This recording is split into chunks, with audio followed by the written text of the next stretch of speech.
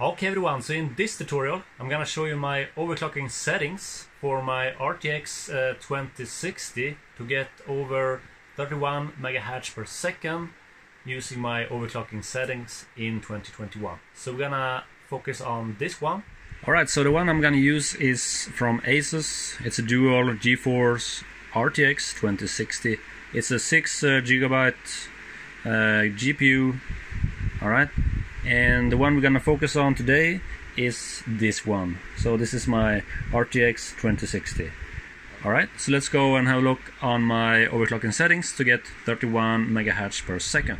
Okay everyone so I just want to show you a preview what we can expect when applying my uh, overclocking settings for my RTX 2060 as you can see I get 31.70 megahertz per second and this is what my result will be in this video. So let's do this so if you don't have MSI Afterburner, we're gonna go and download it right now.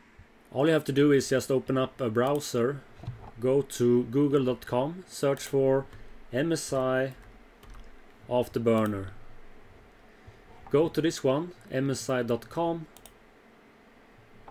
and now go to this one, MSI Afterburner, download Afterburner. Just download this uh, software and install it and after that you should see this uh, MSI Afterburner icon. Alright? Now we're gonna open up MSI Afterburner. Click on yes. Now we can see the MSI Afterburner. If you don't have the same layout you can always go to settings and go to user interface. Go down to this one user interface skinning properties just go down and choose this one. MSI Mystic Afterburner skin by Drerex Design. And you can also uh, do uh, skin scaling if you want to have a bigger layout or smaller like this. After that just click on apply. And after that just click on OK. And now we should have the same layout as I do. Okay, so my computer doesn't like to screen record and mining at the same time, so we're gonna do it from my phone from now. Alright, so now we're gonna choose the GPU we want to overclock to get more megahertz per second. So right now I have this GPU and to change this I want to click on this arrow, uh, go to RTX 2060 and to close this just click on the arrow one more time. Now we can see that we have GeForce RTX 2060. Alright. Okay, so let's go and start up your mining software. I'm using T-Rex, so I'm gonna go to T-Rex. You can use whatever you like. Just start it up like so. And now we can just open up uh, the MSI Afterburner so you have it on the same screen like so.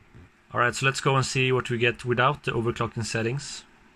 Okay, so without any overclocking settings, my Asus RTX 2060 gets 28 MHz per second. So let's go and add some overclocking settings and see how much we can get. Alright, so the settings we're gonna add is uh, we're gonna leave core clock at zero. We're gonna go to memory clock and right here we're gonna add 700. So just click right here in this box and you will see this dot and after that just enter 700. After that just hit enter. After that we want to lower uh, the power limit. So in my case I cannot lower uh, less than 78. Uh, but if you can you can do like 60 or something like that, 65. But in my case the lowest I can get is 78.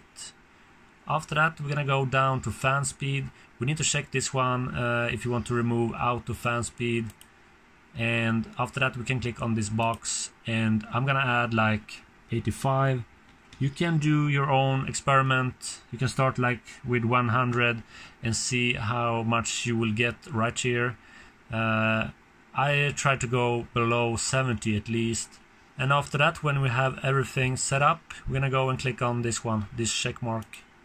And this will apply the settings to your GPU let's go back to the mining and see what we will get Okay, so now we have 29.36 megahertz per second. Uh, the temperature is 70. We have the power at 122 and fan speed at 85%. Let's see if we can increase this. now we got uh, 30.80 megahertz per second. We have 68 Celsius. Alright, so now we got 31.17 megahertz per second. We have 67 degree Celsius. So I think this is uh, the highest we can get with these settings. 31.17 megahertz, but it's a 3 megahertz per second increase for my card at least.